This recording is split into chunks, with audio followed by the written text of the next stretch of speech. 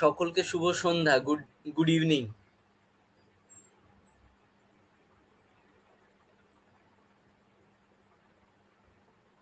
সকলকে শুভ সন্ধ্যা, গুড ইভিনিং। কে শোভন, জুই, সৌগত, সাবরিনা, কৌশিক, চিন্ময়, রিনা, সঙ্গীতা, দেবারতী, মৌসুমি ওকে রানু, মিষ্টু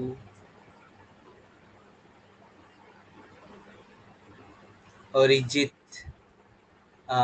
মঞ্জিমা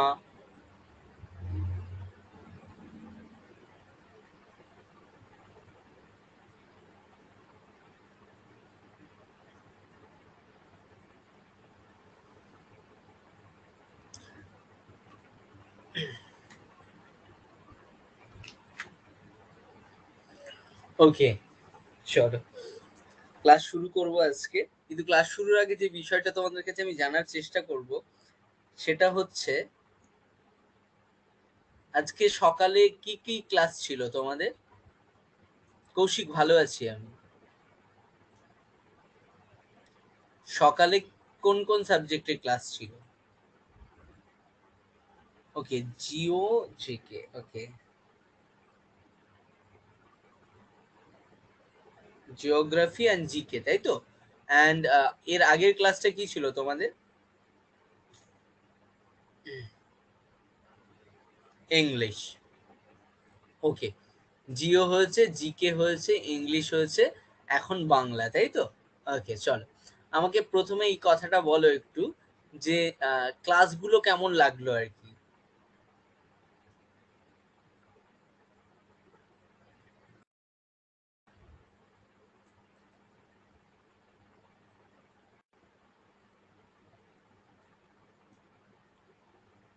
ওকে ভেরি গুড দারুণ খুব ভালো ভালো বেশ।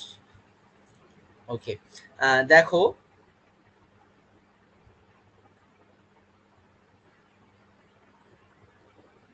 ওকে দেখো।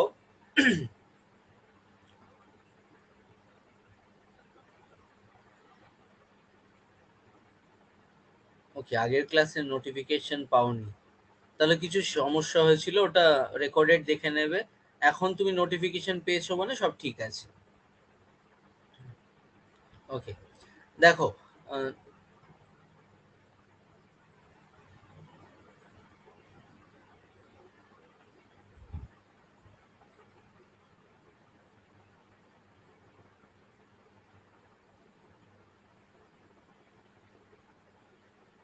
ওকে ওকে ওকে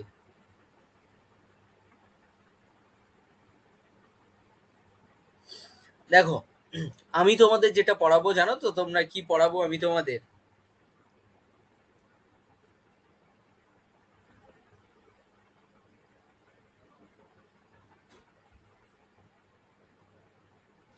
একদম। বাংলা পড়াবো ধ্বনিবর্ণ দেখো, তোমাদের দেড়শো দেড়শো নাম্বারের পরীক্ষা হয় তো? একশো পঞ্চাশ। তার মধ্যে তিরিশ তিরিশ মার্কসের কি থাকে?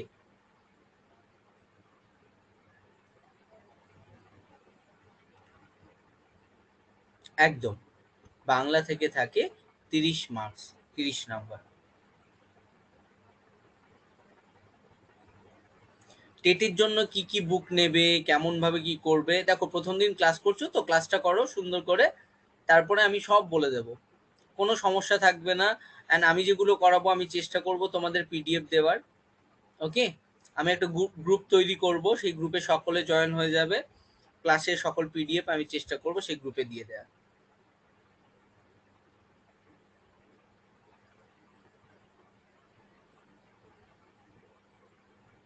আমার বাড়ি হচ্ছে কৃষ্ণনগর। ওকে ওকে চলো। No more interaction let start let get started okay চলো।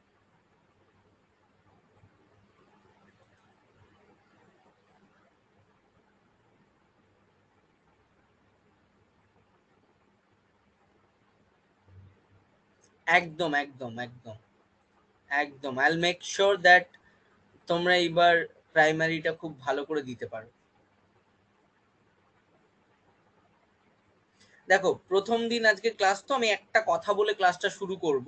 সে কথাটা হচ্ছে এইটা যে, তোমরা ভবিষ্যতের জীবনে, ভবিষ্যৎ জীবনে শিক্ষক, শিক্ষিকা হতে চলেছ।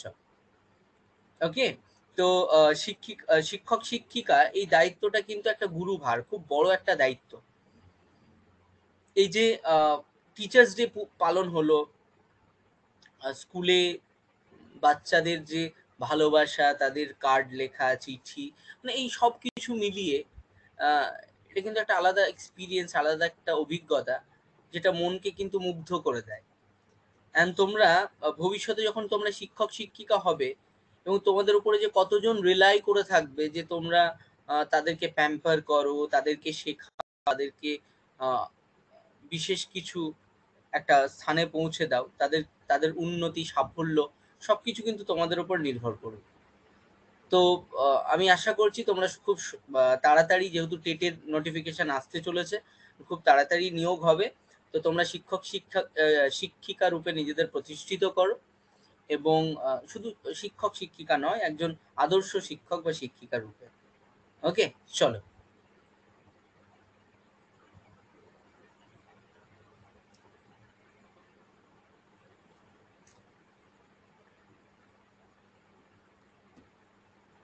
ওকে চলো ক্লাসটাকে শুরু করি আজকে কেমন? ক্লাসটা দেখো একটু ক্লাসটাকে এনজয় করো।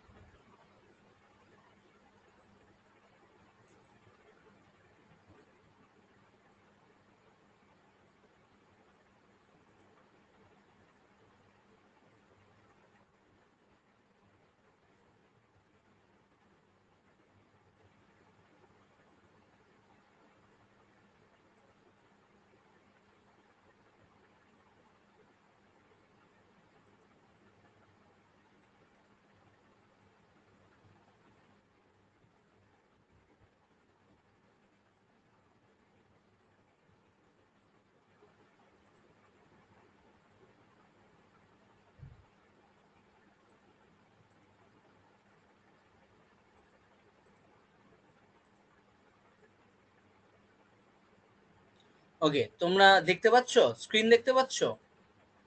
পিপিটি দেখতে পাচ্ছ?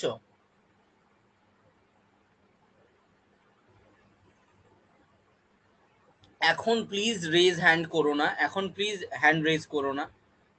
ওকে তোমাদের যা প্রশ্ন থাকবে ক্লাসটা কিছুক্ষণ হোক, তারপরে হ্যান্ড রেজ করো। ওকে চলো ক্লাসটাকে শুরু করি। ক্লাসটাকে একটু দেখো এনজয় করো। দেখো। আজকে আমাদের যেটা টপিক টপিক হচ্ছে সেটা হচ্ছে ধ্বনি, বর্ণ, অক্ষর। কি? না, ধ্বনি, বর্ণ, অক্ষর। স্যার, এইগুলো তো আমরা ছোটবেলায় এত পড়েছি, এত জানি, সব ধ্বনি, বর্ণ, অক্ষর শেখানোর কি আছে এখানে? আমরা কি বাচ্চা নাকি? বাচ্চারা যেভাবে ধ্বনি, বর্ণ, অক্ষর শেখে, আমরা এখানে যেভাবে ধ্বনি, বর্ণ, অক্ষর শিখব, তার মধ্যে একটা পার্থক্য থাকবে ওকে দেখো। অনেকে মনে করে যেটা ধ্বনি সেটাই বর্ণ, সেটাই অক্ষর। যেটা ধ্বনি সেটাই বর্ণ, সেটাই অক্ষর। এর মধ্যে আলাদা করে কোনো পার্থক্য নেই।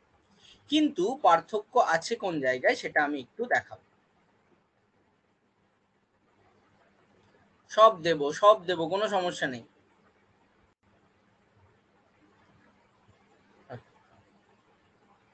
দেখো। ধ্বনি কি? ধ্বনি হচ্ছে বাকযন্ত্রের সাহায্যে উচ্চারিত ভাষার ক্ষুদ্রতম একক। কি? বাকযন্ত্রের সাহায্যে উচ্চারিত হতে হবে, ভাষার ক্ষুদ্রতম একক হতে হবে। তাহলে স্যার, ধ্বনিকে তো কি সাউন্ড বলে? তাহলে এই যে গাড়ির আওয়াজ হচ্ছে, আমি দরজা বন্ধ করলে আওয়াজ হয়। কেউ চা খেলে আওয়াজ হয় বা কোনো পাখি গান মানে পাখি ডাকছে সেটা আওয়াজ হয়, তাহলে সেগুলো কি ধ্বনি নয়? একদমই ধ্বনি সেগুলোও ধ্বনি কিন্তু ভাষার ক্ষেত্রে ধ্বনিটা হচ্ছে আলাদা। ভাষার ক্ষেত্রে ধ্বনিটা কি? যখন বাকযন্ত্রের সাহায্যে সেটা উচ্চারিত হয়। বাকযন্ত্র কোনটা? দেখো, যখন আমরা কথা বলি, এই যে আমরা কথা বলছি বা তুমি যদি কথা বলো তাহলে দেখবে যখন কথা বলছো, দেখবে মুখের সামনে হাত নিয়ে আসো, মুখের সামনে হাত এনে যদি কোনো কথা বলো, দেখো একটা বাতাস একটা বাতাস মুখ থেকে নির্গত হচ্ছে, তাই তো? সেটা দেখো হাওয়া, একটা হাওয়া বার হচ্ছে মুখ থেকে। এই হাওয়াটার উৎস কোথায়? এই হাওয়াটা আসছে কোথা থেকে? এই বাতাসটির উৎস কোথা থেকে? সেটা হচ্ছে আমাদের ফুসফুস। আমরা যেটাকে লাংস বলে থাকি, তাই তো?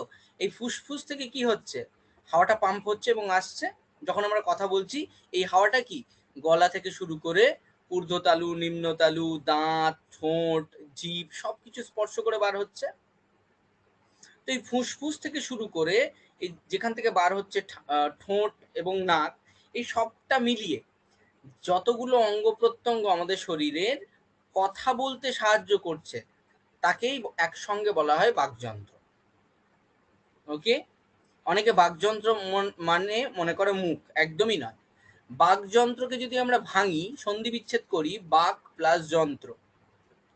বাক কথাটির অর্থ হচ্ছে কথা আর যন্ত্র আমরা জানি মেশিন কথা বলার মেশিন আমাদের যে অঙ্গ প্রত্যঙ্গ, কথা বলতে আমাদের সাহায্য করছে, সেটাই হচ্ছে বাকযন্ত্র। এই বাকযন্ত্রের সাহায্যে যখন ভাষার ক্ষুদ্রতম একক ব্যবহার হয়। তার থেকে ক্ষুদ্রতম আর কিছু হয় না। ওকে তো সেটাই হচ্ছে কি? ধ্বনি। এইবার দেখো, তাহলে বর্ণ কি স্যার? বর্ণ হচ্ছে ধ্বনির লিখিত রূপ। কেমন? দেখো, যখন আমি বলছি অ, আ রস্বই দীর্ঘই ক, খ, ম, চ, এগুলো কি? এগুলো হচ্ছে ধ্বনি। সেইটাই আমি যখন লিখছি, অ ক, আ, গ, ম, এটাই যখন আমি লিখছি, তখনই সেটাকে বলা হচ্ছে সেই লিখিত রূপটা। একটা হরফের সাহায্যে, একটা চিহ্নের সাহায্যে আমরা ধ্বনিটাকে কি করছি, প্রকাশ করছি? একটা হরফ বা চিহ্নের সাহায্যে, এই চিহ্ন বা হরফগুলোই হচ্ছে কি? বর্ণ। তাহলে ধ্বনি কি? ধ্বনি হচ্ছে শোনার বিষয়, আর বর্ণ হচ্ছে দেখার বিষয়, তাই তো? আমি যখন বলছি অ, আ, এগুলো কি করছ? তুমি শুনতে পাচ্ছ? আর যখন আমি লিখছি অ, আ, ক ক, সেটা কি? ওটা হচ্ছে দেখার বিষয়। স্যার, ভয়েস প্রবলেম হচ্ছে। আচ্ছা কথা শোনা যাচ্ছে না?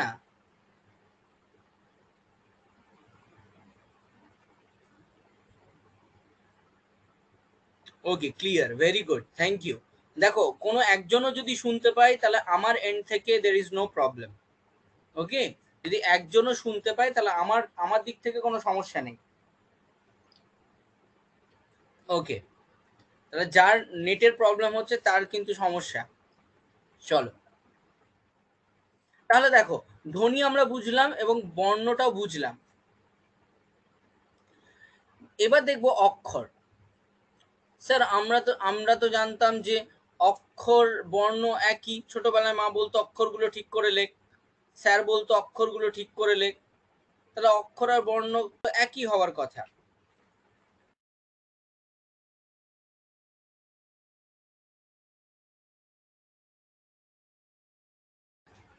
ওকে।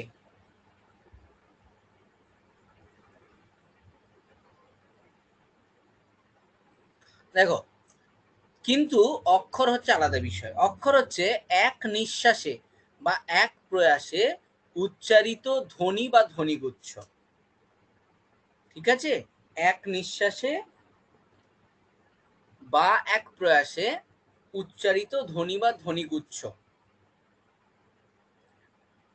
আমি বললাম রাম। এখানে কটি অক্ষর আছে বলতো? রাম কথাটিতে।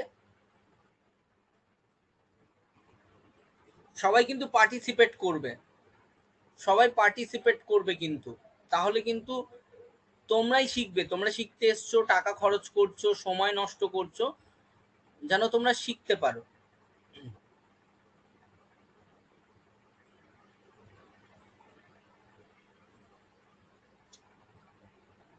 ভেরি গুড সকলে আনসার করো বা ওকে ওকে চলো। অনেকে বলছো দুটো, অনেকে বলছো তিনটে, অনেকে বলছো একটা। যারা দুটো বলছো, তারা ধরছো রা একা, রা, ম। তাই তো? রা একটা, ম একটা। তাহলে একটা একটা, দুটো। যারা বলছো তিনটে, তারা কেমন করছ? বর্ণ বিশ্লেষণ করছ। র, আ, ম। রাম। একটা, দুটো, তিনটে। তিনটে। আর যারা বলছো একটা, তারা সঠিক বলছো। রামকে উচ্চারণ করতে গিয়ে আমাদের কটা নিঃশ্বাস লাগছে কটা প্রয়াস বাকযন্ত্রকে করতে হচ্ছে?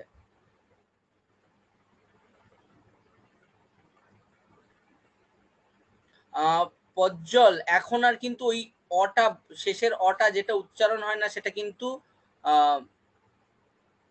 বর্ণ বিশ্লেষণে লেখাও হয় না, আসে না। একদমই।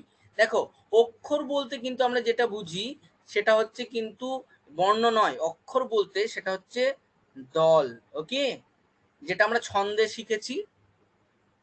আমি বললাম আমার আমার। দেখো, আমার কথাটাতে দুটো প্রয়াস হচ্ছে, আ আর মার। তাহলে এখানে কটা অক্ষর আছে? দুটো।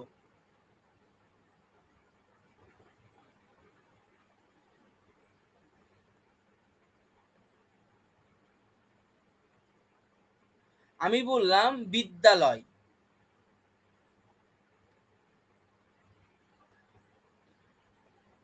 দেখো এখানে বিদ্যালয় বিদ্যালয়। কটা অক্ষর আছে? তিনটে।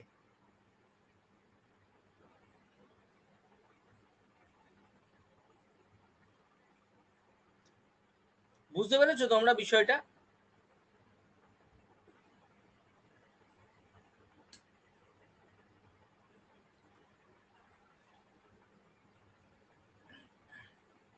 ওকে।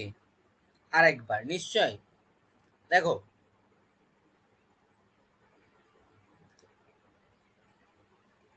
আমরা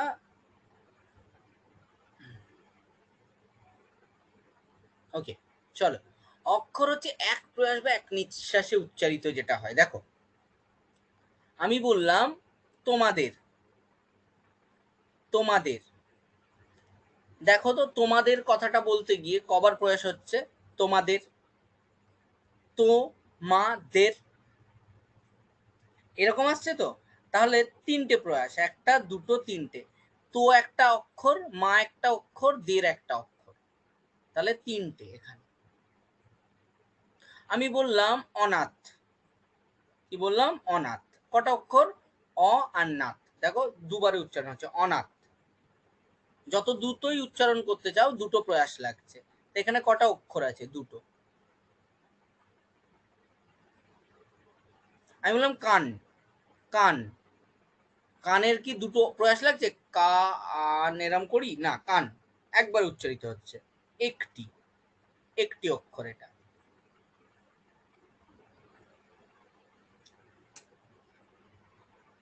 বুঝতে পারছ?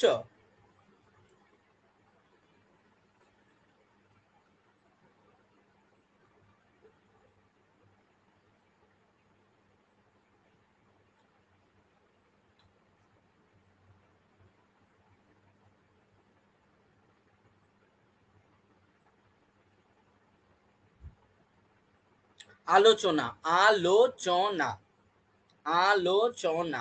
দেখো, চারটে প্রয়াসে হচ্ছে। গোপাল সরকার রেজড বলো গোপাল।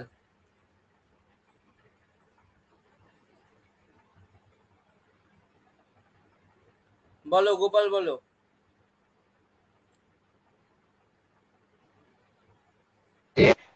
মাদের তো এটা আবার বেশি উচ্চারণ হচ্ছে বলে কি এটা কি অল্প বলছি স্যার এগুলোকে কি আমরা অল্প প্রাণ বা মহাপ্রাণ বলি বা এগুলো এভাবে কি মানে বলা যায়? একদম বুঝতে পারছি না তোমার কথা হ্যাঁ বলছি স্যার এগুলোকে কি অল্প প্রাণ এবং মহাপ্রাণ ধ্বনি কি বলা যায়? না না এখানে অল্প প্রাণ মহাপ্রাণের কথাই আসছে অল্প প্রাণ মহাপ্রাণ পরে আসব আমরা। এটা এটা হচ্ছে অক্ষর। ওকে অক্ষর, যেগুলো আমরা ছন্দে করে থেকেছি। অক্ষর, দল ভাগ করেছি।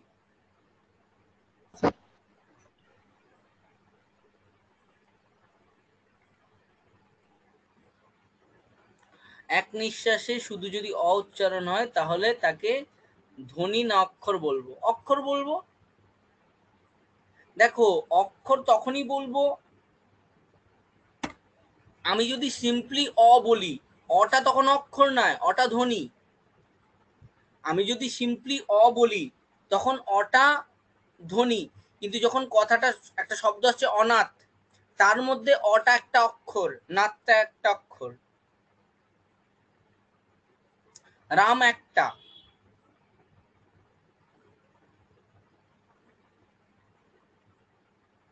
ওকে? ধ্বনি বা ধ্বনিগুচ্ছ দেখো, চলো নেক্সট যাই আমরা।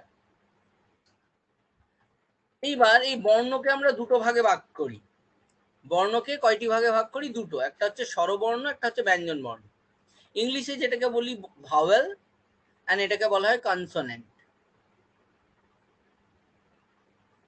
ইংলিশে একটাকে বলা হয় ভাওয়েল একটাকে বলা হয় কনসোনেন্ট তাই তো? কি এই ভাওয়েল কনসোনেন্ট দেখো, স্বরবর্ণ কি? যে বর্ণ অন্য কোনো বর্ণ ছাড়াই স্বাধীনভাবে উচ্চারিত হতে পারে, তাকে স্বরবর্ণ বলে। যে বর্ণ অন্য কোনো বর্ণ ছাড়াই স্বাধীনভাবে উচ্চারিত হতে পারে, তাকে স্বরবর্ণ বলে। তাহলে ব্যঞ্জন বর্ণ কি হবে? তার উল্টোটা হবে। যে বর্ণ স্বরবর্ণের সাহায্য ছাড়া উচ্চারিত হতে পারে না, সেটা হচ্ছে ব্যঞ্জন বর্ণ। কীভাবে? আমরা একটু দেখে নিই। আমি যদি বলি, অ, আ, ই, এইগুলো দেখো, আমি ধরে নাও বললাম অ। অটাকে তুমি যতই টানো, অ, আ, ই, অন্য কোনো বর্ণের সাহায্য লাগছে? না। অই উচ্চারণ মানে অই কি হচ্ছে? ধ্বনি আসছে। আ, আই আসছে। ই ই আসছে। কিন্তু ব্যঞ্জন বর্ণের ক্ষেত্রে যদি আমি বলি ক ক, দেখো ক এর সাথে একটা অ আসছে। ক প্লাস অ হচ্ছে ক। আমি বললাম ম। ম এর সাথে একটা একটা অ আছে ম ম প্লাস অ। তাহলে এই যে ক, ম, এগুলো কার সাহায্যে উচ্চারিত হচ্ছে? স্বরবর্ণের সাহায্য নিয়ে। তার জন্য এগুলোকে বলা হয় ব্যঞ্জন বর্ণ। ওকে তাহলে একটা হচ্ছে স্বরবর্ণ, যেটা নিজে নিজেই স্বাধীনভাবে উচ্চারিত হতে পারে, যেটা উচ্চারণ করার জন্য অন্য কোনো ধ্বনি বা বর্ণের সাহায্য নিতে হয় না। আর যে বর্ণ নিজে উচ্চারিত হতে পারে না, স্বাধীনভাবে উচ্চারিত হতে পারে না, স্বরবর্ণের সাহায্য নিতে হয় তাকে, সেটাই হচ্ছে ব্যঞ্জন বর্ণ ঠিক আছে?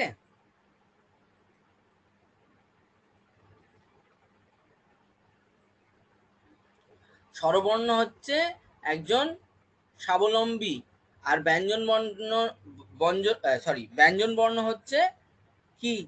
পরনির্ভর। ব্যঞ্জন বর্ণ হচ্ছে খোঁড়া।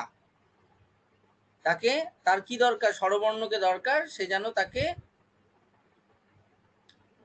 হাঁটতে সাহায্য করে।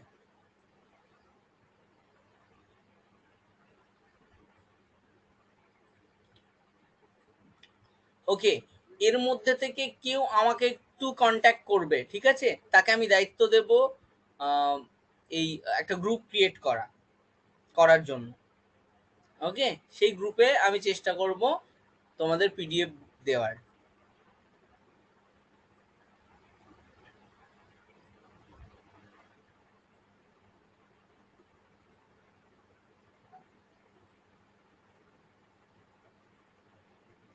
বলো গোপাল।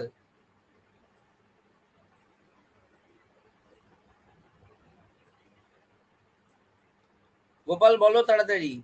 সুমন গোপাল কি বলব বলো।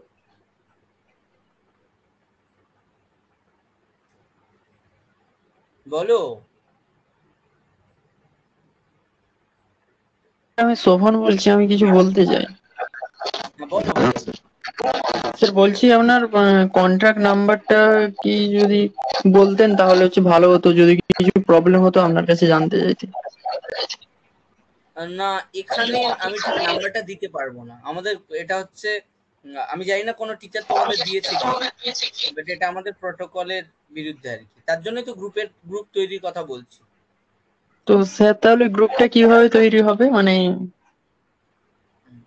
মানে কোনো হোয়াটসঅ্যাপ গ্রুপ না মানে কীভাবে? সেটাই জানতে চাইছি। হোয়াটসঅ্যাপ গ্রুপ হোক টেলিগ্রাম গ্রুপ হোক তখন যে গ্রুপই হোক তোমরা আমার নাম্বার পেয়ে যাবে সেটা নিয়ে সমস্যা নেই। কিন্তু এখানে আমি তোমাদের এইভাবে নাম্বার দিতে পারি না বুঝতে পেরেছ? স্যার এখানে দিতে হবে না তো কীভাবে পাবো সেটা যদি একটু বলতেন।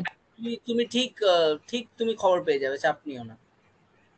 ওকে স্যার আছে। থ্যাঙ্কস থ্যাঙ্কস থ্যাঙ্কস আর স্যার আপনাকে ধরুন কোনো কিছু প্রবলেম যদি হয় আপনাকে আমি পার্সোনাল ভাবে জিজ্ঞাসা করতে পারি?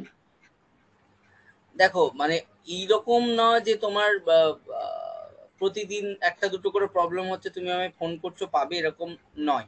না না না না স্যার ওই রকম না। ধরুন আমার ধরুন হ্যাঁ, কিছু প্রবলেম হচ্ছে আপনাকে ধরুন একদিন আমি ফোন করলাম বা সেটা হ্যাঁ, মানে সেক্ষেত্রে হবে।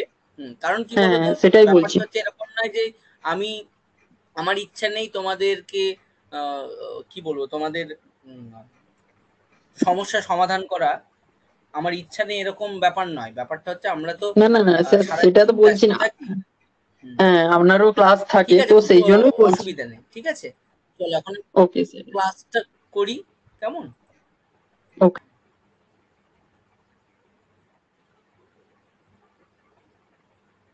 ওকে চলো।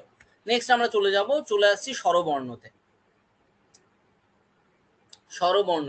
আমাদের বাংলা বর্ণমালায় স্বরবর্ণ কয়টি আছে? দেখো, অ, আ রস্বই দীর্ঘই রস্যউ দীর্ঘ রি, এ ওই ও ও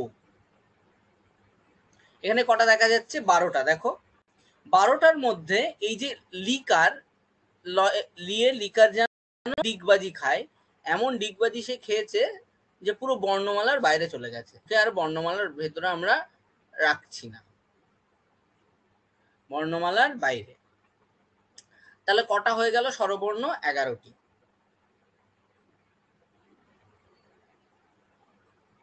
ওকে? চলো। এইখানে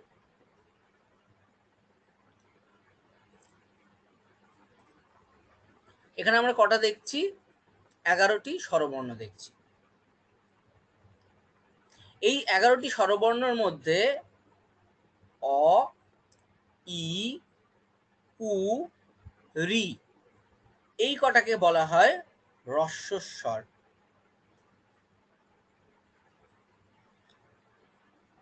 বাকিগুলোকে, দেখো, এক, তিন, পাঁচ, সাত এই কটাকে বলা হয় রস্বস্বর আর বাকিগুলোকে বলা হয় দীর্ঘস্বর। কি এই রস্বস্বর দীর্ঘস্বর? না, অনুপ। যদি কোনো বইয়ে ছোট বাচ্চাদের বইয়ে পেয়ে থাকো সেটা হচ্ছে ভ্যালিড না আর কি। এমনি দেওয়া আছে, তার কোনো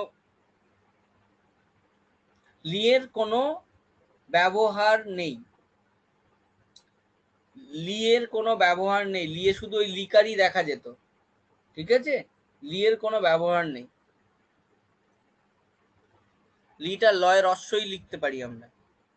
দেখো, তাহলে রস্বস্বর আর বাকিগুলো কি?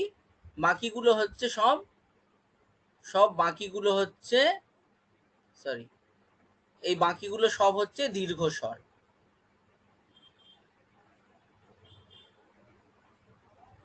কি রস্বস্বর, কি দীর্ঘস্বর? যে যে স্বরধ্বনি উচ্চারণকালে বা যে স্বরবর্ণ উচ্চারণকালে, যে স্বরবর্ণ উচ্চারণ করতে অল্প সময় লাগে, অল্প সময় লাগে। আর এটা বেশি সময় লাগে। ঠিক আছে? দেখো বলেই দিয়েছে, রস্য মানে কি? রস্য মানে ছোট, দীর্ঘ মানে কি? বড়। এখানে ছোট বড় কোন অর্থে? উচ্চারণ করার সময় অর্থে।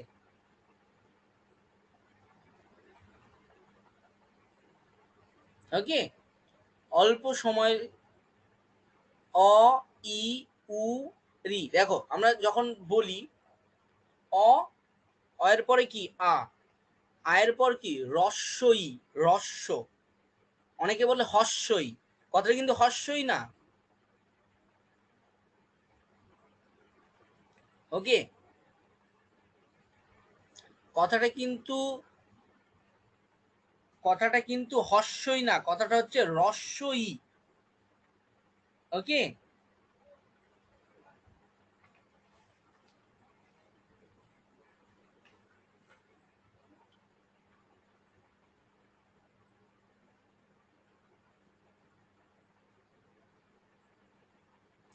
এগুলো শব্দের মধ্যে যখন ইউজ হয়, অরূপ, শব্দের মধ্যে যখন ইউজ হয়, অনেক ক্ষেত্রে দীর্ঘ ইউজ হয়, অনেক ক্ষেত্রে রস্য ইউজ হয়। ঠিক আছে? কিন্তু এগুলোকে রস্য স্বর বলা হয়, কারণ এই স্বরবর্ণ উচ্চারণে অল্প সময় প্রয়োজন। ঠিক আছে? তাহলে দীর্ঘই কেন ইউজ হয় রস্যই কেন ইউজ হয়? ইট আর ইগল ইট আর ইগল এই দুটো বলার মধ্যে পার্থক্য কেন? ই দুটো ইয়ের মধ্যে পার্থক্য কি?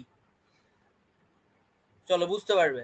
দেখো, তাহলে দেখো রস্য ই রস্য উ দীর্ঘ ই, দীর্ঘ উ।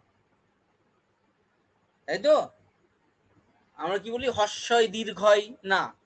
অ, আ, রস্যই দীর্ঘই। উ দীর্ঘ। তাহলে একটা হচ্ছে এই চারটে হচ্ছে রস্যস্বর। কটা? রস্যস্বর কয়টি? চারটি। প্রশ্ন এসে থাকে। দীর্ঘস্বর কয়টি? এগারো, এগারোটি থেকে চারটি বাদ দিয়ে দাও, কটি হয়?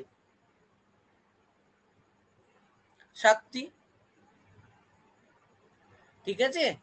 এবার দেখা যায় অনেক ক্ষেত্রে রস্য স্বরগুলো অনেক শব্দে দীর্ঘ দীর্ঘ আকারে, দীর্ঘ সময় ধরে উচ্চারিত হচ্ছে, বেশি সময় নিচ্ছে উচ্চারণ হতে। আবার অনেক দীর্ঘ স্বরগুলোকেও কম সময় নিচ্ছে উচ্চারণ হতে, এরকম দেখা যায়। সেগুলো আমাদের জানার বিষয় নয়। ওকে? কারণ আমরা ব্যাকরণবিদ হতে আসিনি। আমাদের পরীক্ষার পার্সপেক্টিভে যতটুকু লাগবে সেটুকুই আমরা শিখব। চল।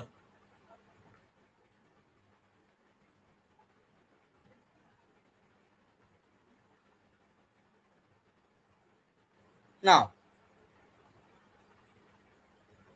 তাহলে আমরা কটা কটা দেখলাম? এগারোটি স্বরবর্ণ দেখলাম।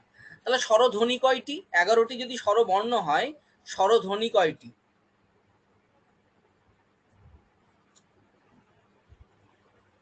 এগারোটি যদি স্বরবর্ণ হয় স্বরধ্বনি কয়টি? বলো একটু বলো।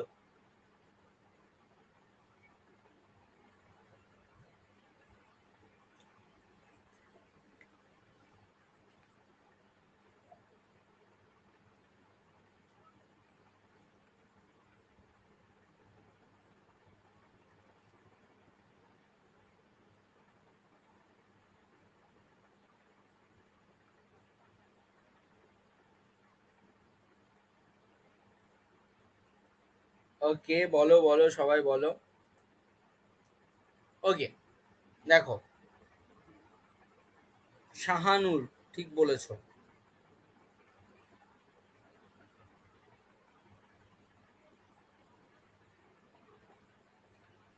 দেখো। দেখো স্বরবর্ণ হচ্ছে সাত, এই স্বর বর্ণ হচ্ছে কয়টি? এগারোটি। কিন্তু স্বরধ্বনি যদি বলি নর্মালি যদি এমনি জিজ্ঞাসা করা হয় স্বরধ্বনি কয়টি, তার মানে জিজ্ঞাসা করা হচ্ছে মৌলিক স্বরধ্বনি কয়টি, সেটা হচ্ছে সাতটি। কীভাবে দেখো? অ একটা ধ্বনি, আ একটা ধ্বনি, ই একটা ধ্বনি। দেখো, এই যে তারপরে একটা কি আছে? ই। দেখো, আমি ইগল কথাটি যদি আমি এইভাবে লিখি ধ্বনিগত কোনো পার্থক্য আসবে? দেখো তো। তুমি নিচেরটা কাউকে যদি পড়ে শোনাও আর উপরেরটা পড়ে শোনাও, তাহলে সে কি বুঝতে পারবে যে তুমি দীর্ঘই লিখেছো না রস্যই লিখেছো?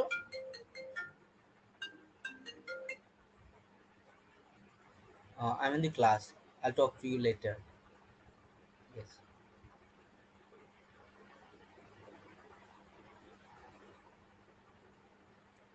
দেখো এই যে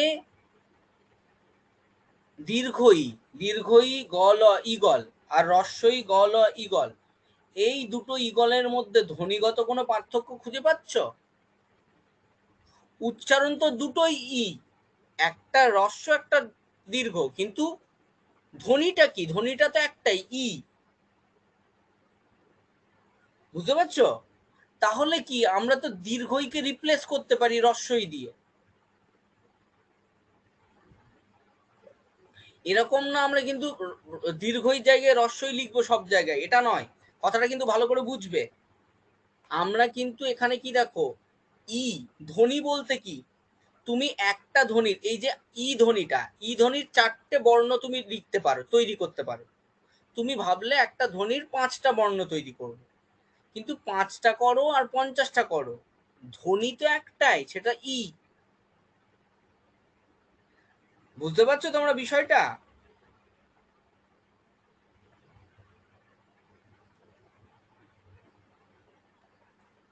তুমি এই যে ঈর্ষা, ঈর্ষাকে যদি তুমি এরকম লেখো, ঈর্ষা, কোনো ধ্বনিগত পার্থক্য আছে? ধ্বনি তো দুটোই ই শোনাচ্ছে।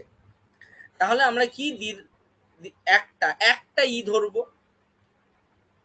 তারপর দেখো, রস্যও দীর্ঘ আমরা দীর্ঘ কে ধরবো না? দুটোই তো উ ধ্বনি। তুমি যদি উষা, এই কথাটাকে যদি এই রকম লেখো, উষা। ধ্বনিগত কোনো পার্থক্য আসছে? আসছে না। দুটোই তো উ। বর্ণ দুটো হতে পারে। একটা ধ্বনির বর্ণ দুটো হতে পারে। কিন্তু আমরা ধ্বনি কটা? একটাই। উ ধ্বনি একটাই। তাই তো? তুমি, তোমাকে কেউ খোঁচা দিল? তুমি বলে উ তুমি এখানে দীর্ঘও বললে কি রস্যও বললে কোনো ম্যাটার করে না। তোমার মুখ থেকে কি বার হলো? উ আর উ একরকমই।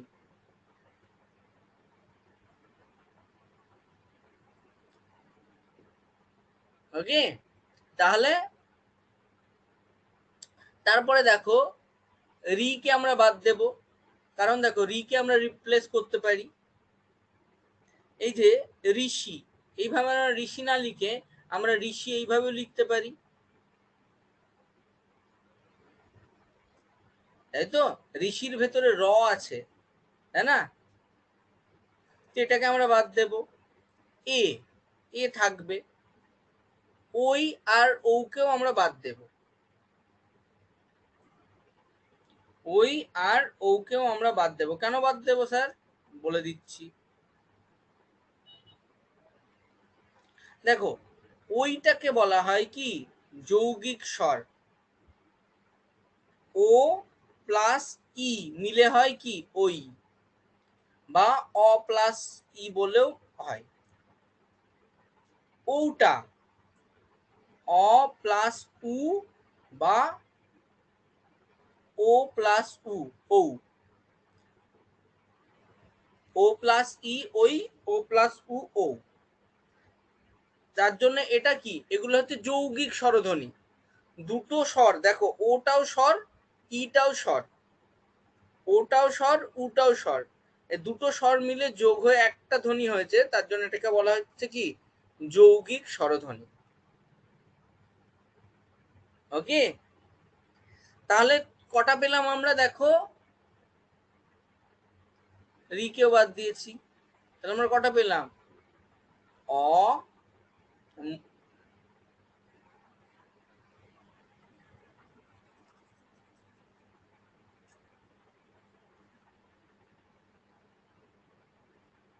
দেখো, অ, আ, ই, উ, এ, ও। তা কটা হলো? একটা, দুটো, তিনটে, চারটে, পাঁচটা, ছটা। তাহলে স্যার আপনি যে বললেন সাতটা হ্যাঁ আর একটাও আছে। সেটা হচ্ছে তো এটা আবার কেমন ধ্বনি? হ্যাঁ অ্যা একটা ধ্বনি, এটা আমরা ব্যবহার করি, কিন্তু এর আমরা লিখিত রূপ নেই। এর আমাদের কাছে কি? লিখিত রূপ নেই। যেমন, আমি তোমাদের যদি বলি, কয়ে একার ম দন্ত ন কি বলি এটাকে আমরা? কেমন বলি না কেমন বলি? আমরা কেমন বলি না কেমন বলি? কেমন বলি? তাই তো? তাহলে দেখো কে, এ আসছে, দেখো? কয়েকার কি আসছে না? কয়েকার কে আসছে? মানে এ আসছে। একদম। আমরা কেমন বলি? কেমনটাকে কেমন? এরকম। এইরকম উচ্চারণ করি আমরা। লিখি এইরকম এ কিন্তু উচ্চারণ করি কেমন। যেমন কেন? কেন বলি? কেন? অনেকে বলে কেন। কিন্তু কথাটা আমরা কি উচ্চারণ করি? কেন? এ উচ্চারণ করি। বুঝতে পেরেছ? তা এই ধ্বনিটাকে আমরা কিন্তু ব্যবহার আছে, কিন্তু এর লিখিত রূপ নেই। তো আমাদের কাছে স্বরধ্বনি হচ্ছে এই সাতটি। কয়টি? সাতটি।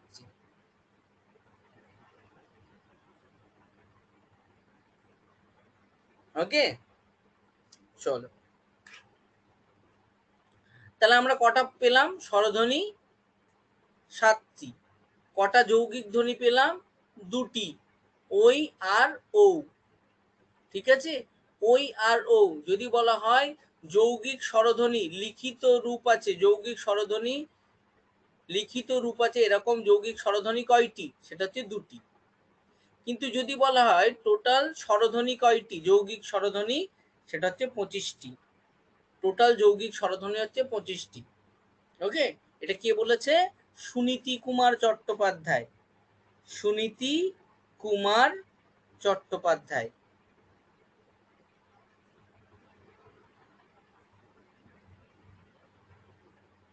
ওকে দেখো, আমি যদি বলি খাও খাও এখানে দেখো ক্ষয়ের সাথে কি আসছে? আউ। এই আ আর ও দেখো, যোগ হয়ে খুব তাড়াতাড়ি উচ্চারণ হচ্ছে বলে এই আউটাকে বলা হচ্ছে যৌগিক স্বরধ্বনি। যাও। কি আসছে? আউ আসছে। দেখো, আও একটা স্বর, ও একটা স্বরধ্বনি। আও একটা স্বরধ্বনি, ও একটা স্বরধ্বনি। এটাকেও বলা হচ্ছে একসঙ্গে স্বরধ্বনি। এরকম পঁচিশটা আছে।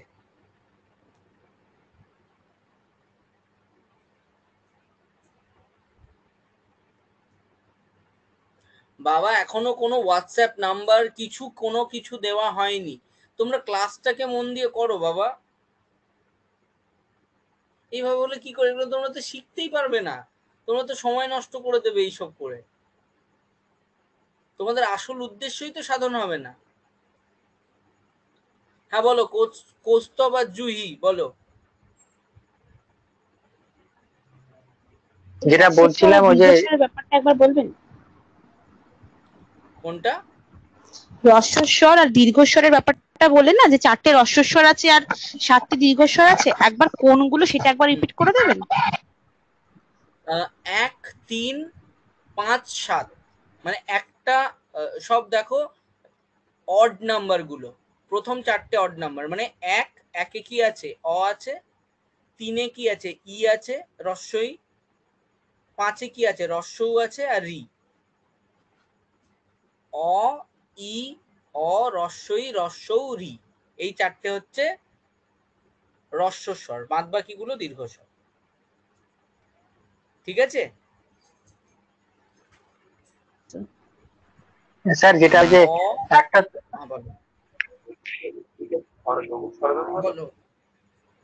বুঝতে পারছেন স্যার? হ্যাঁ বলো। হ্যালো।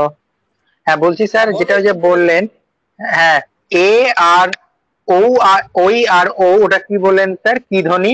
যৌগিক? স্বরধ্বনি। যৌগিক স্বরধ্বনি এর লিখিত রূপ নেই। আছে তো লিখিত রূপ ওই আর ও আমরা দেখতে পাচ্ছি তো।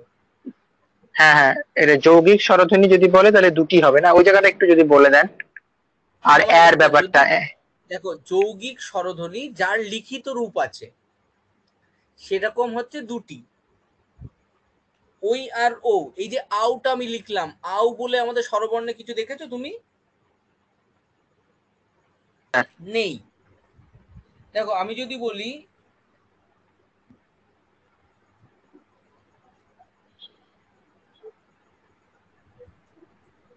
স্যার সেরম ভাবে তো যাইতেও আই বলি আমরা তাহলে সেটাও একটা যৌগিক স্বরধ্বনি মানে উচ্চারণে হচ্ছে যেটা। হ্যাঁ যাইতে আই একদমই। যাই যাইতে আসছে কি দেখো? আই খাইতে কি আসছে? আই। আমি যদি বলি দেখো দিয়া নিয়া এখানে কি আসছে? ইয়া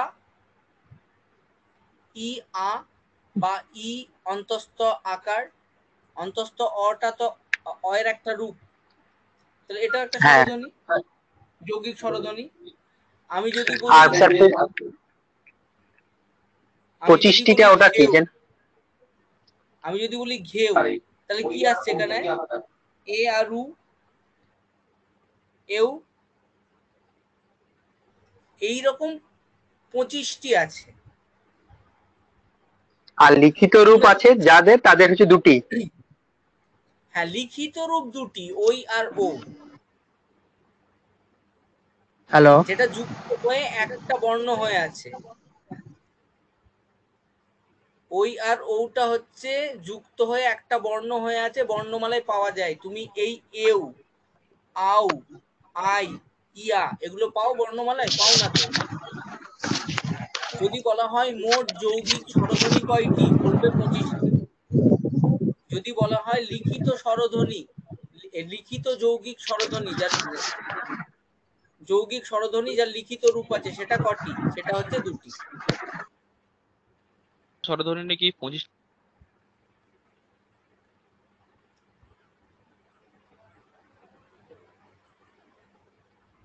ওকে চলো। তোমাদের আমি, তোমরা যদি চাও এই পঁচিশটি স্বরধ্বনি কি কি, আমি গ্রুপে দিয়ে দেব, কোনো সমস্যা নেই, ঠিক আছে? যদি এগুলোর খুব একটা কাজে তোমাদের লাগবে না। কিন্তু তবুও জানার জন্য যদি চাও মানে পরীক্ষার পার্সপেক্টিভে এত ডিটেলস এরকম আসবে না। চলো। তাহলে আমরা কি দেখলাম? যৌগিক আর মৌলিক স্বরধ্বনি মৌলিক স্বরধ্বনি হচ্ছে কয়টি? সাতটি। যৌগিক স্বরধ্বনি হচ্ছে পঁচিশটি। লিখিত রূপ আছে যৌগিক স্বরধ্বনি এরকম, সেটা হচ্ছে দুটি। নাও, স্বরবর্ণ, স্বরবর্ণের সংক্ষিপ্ত রূপকে কি বলা হচ্ছে?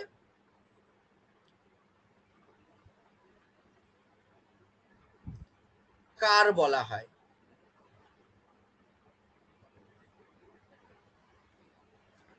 স্বরবর্ণের সংক্ষিপ্ত রূপকে কার বলা হয়? স্বরবর্ণ কয়টি আছে? এগারোটি। তাহলে কার কয়টি হবে?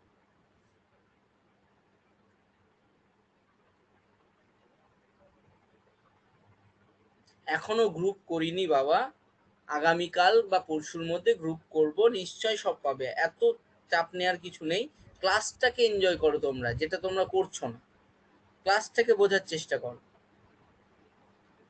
ওকে এগারোটি স্বরধ্বনি স্বরবর্ণ আছে, তার মানে কটা স্বর স্বর সরি কটা কার আছে? এগারোটি, তাই তো? না, একদমই নয়। কার আছে দশটি?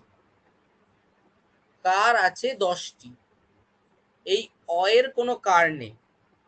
আকার আছে, ইকার আছে দীর্ঘ ইকার আছে, উকার আছে দীর্ঘ উকার আছে, রিকার আছে, একার আছে, ঐকার আছে, ওকার আছে, ঔকার আছে। তাই তো? আকার, ইকার ইকার, উকার উকার, রিকার, একার, ঐকার ওকার ওকার। কিন্তু অকার আছে, অকার অকার বলে কিছু হয় না।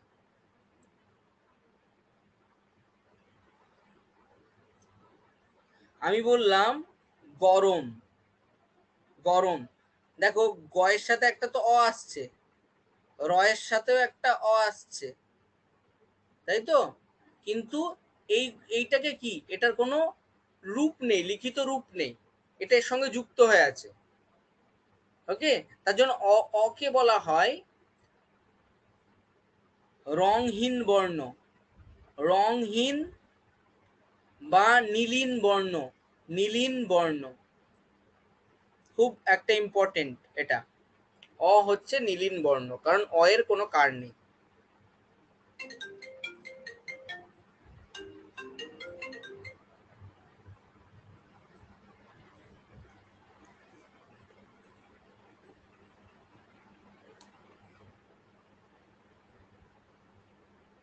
ও সরি লাস্টের ওটা ভুল হয়ে গেছে।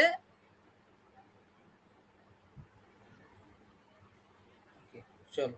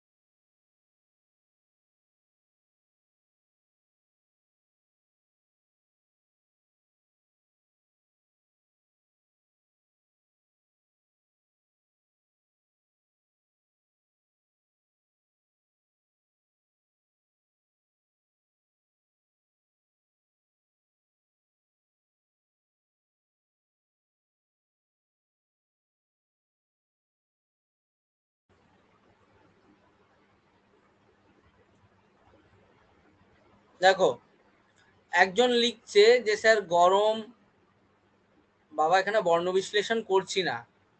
তোমরা যেটা ফোকাস করায় সেটা ফোকাস করো। গরমের পরে ময়ের সাথে অ হবে। তুমি কি উচ্চারণ করো? গরম না গরম? গরম না গরম উচ্চারণ করো? আগে কিন্তু এইখানে অ ব্যবহার করা হতো বর্ণ বিশ্লেষণে। এখন কিন্তু আধুনিক আধুনিক যে ভাষাতত্ত্ব বা ভাষা সেই ক্ষেত্রে এটা হয় না? আজকে খুব গরমও পড়ছে এরকম বলো? না বলো গরম পড়ছে। হ্যাঁ তুমি যদি বলো আজকে খুব গরমও পড়ছে তাহলে সেখানে অ ব্যবহার করা যেতে পারে।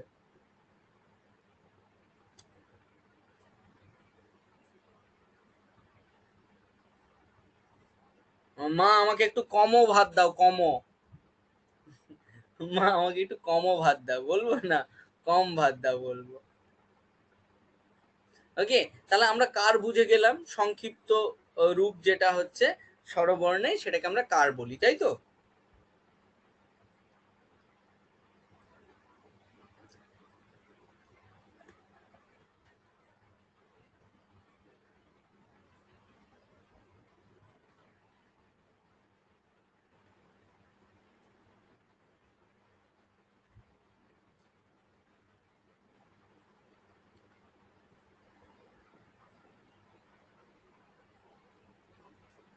ভেরি গুড বিউটি দেখো, এখানে দেখো, উচ্চারণের স্থান অনুযায়ী, ঠিক আছে?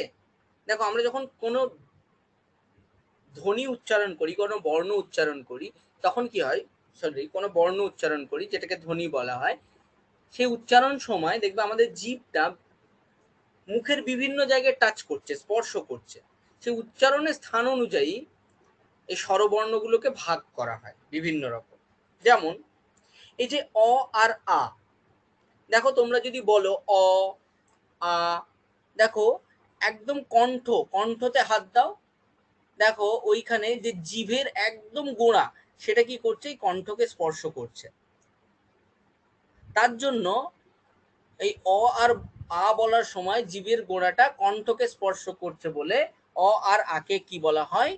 কণ্ঠ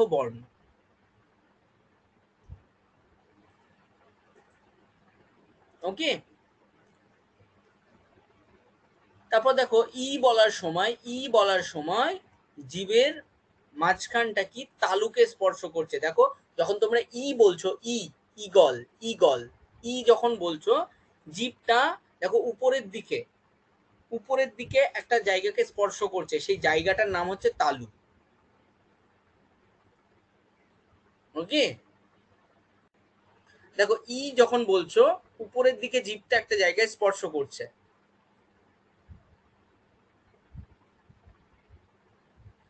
তার জন্য ই দুটো ই কে বলা হয়। এই এই যে ইয়েটা আমি দিয়ে দেবো তোমাদের। তোমাদের তাহলে কোনো সমস্যা হবে না।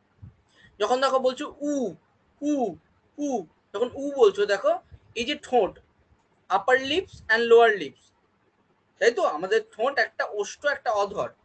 এটা দেখো কাছে চলে আসছে। দুটো এরকম স্পর্শ করছে দুই দিকের পাশাপাশি। তার জন্য উ বলার সময় এটা হচ্ছে বলে উকে ওষ্ঠ বর্ণ বলা হয়। ওষ্ঠ, ঠোঁট, ঠিক আছে? রি রি রি। রি বলার সময় জিভটা দেখো উপরের দিকে খাঁচ কাটা খাঁচ কাটা যে শক্ত জায়গাটা, ওই জায়গাটাকে স্পর্শ করছে। ওইটাকে বলা হয় মূর্ধা।